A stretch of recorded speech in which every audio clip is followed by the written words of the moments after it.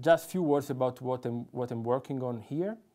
Uh, we, uh, my lab is called Translational Neural Engineering Lab, and the idea is to develop effective and usable neuroprosthesis to restore sensory motor function in disabled people. The first one is the possibility to develop a bidirectional control or what you can call bionic hand. So the idea is to implant electrodes into the peripheral nervous system to allow people after an amputation to control hand prosthesis in a more natural, rich and effective way. The other application is to restore vestibular functions by implanting electrodes into the inner ear close to the semicircular canals. I'm also working on, together with Gregoire Courtine here at the EPFL, on the restoration of locomotion using epidural stimulation. And in particular, I'm helping Gregoire with all the engineering activity.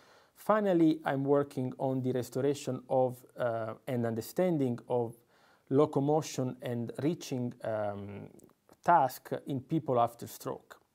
In particular, the idea is to use robotics as a platform first to restore this function. But at the same time, we are using this kind of idea of robotics as a way to understand how the, ner the nervous system controls these kind of activities. For example, we developed a big machine which is called SENLY, and this machine is able to perturbate people.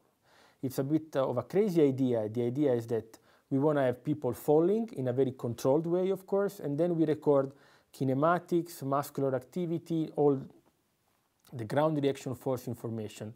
And the idea is to have more information about how the nervous system tries to avoid falling.